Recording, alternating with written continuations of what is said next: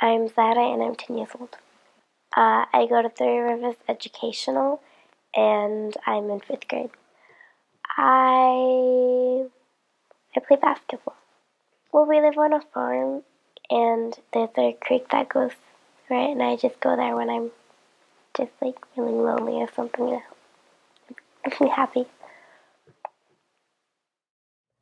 My name's Zetta. My poem's called Liquid Peace. The water in our creek gently flows to our land, spreading life with its magical elixir, spreading music as it stumbles over smooth, slippery stones. Peace flows to our house, spreading harmony with its calming presence, spreading love to everyone it surrounds. The water in the bay gently flows into the ocean, spreading life with its magical elixir, spreading laughter as waves roll into the distant lands, spreading peace through shared existence.